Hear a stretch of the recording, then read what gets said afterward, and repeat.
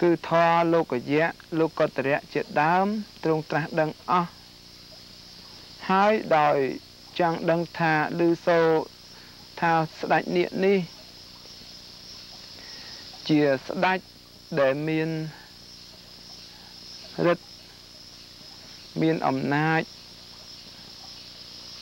អឺលើសលោកទាំងមូល ជាជាជាស្ដេចនៃពពួកអមរិក ដែលគ្រប់គ្រងទៅដោយពិភពនៃផែនដីនេះទាំងមូលព្រះរេវតៈទ្រង់ដឹងអំពីមហិទ្ធិឫទ្ធិរបស់ពពួកនាគដូច្នេះថាជាអ្នកមានឫទ្ធិមានអំណាចខ្លាំងជាទីបំផុតកាលពពួកនៃព្រំមកចុះផ្សព្វផ្សាយនៃសាសនា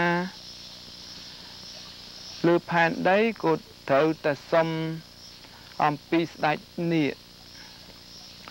កាលដែលទេវតាចុះមកផ្សព្វផ្សាយសាសនារបស់ទេវតានឹងឯង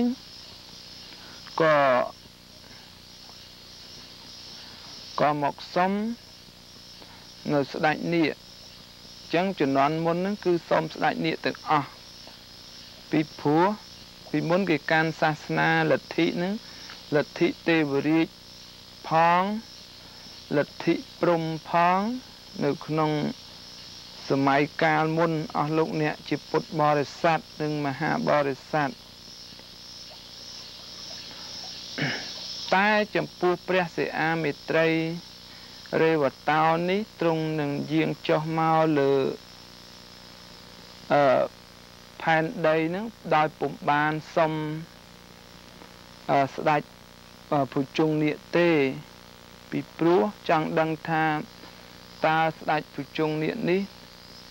ទ្រង់នឹងមានមហិទ្ធិឫទ្ធិបែបណា ចំពោះអឺព្រះពោធិសត្វ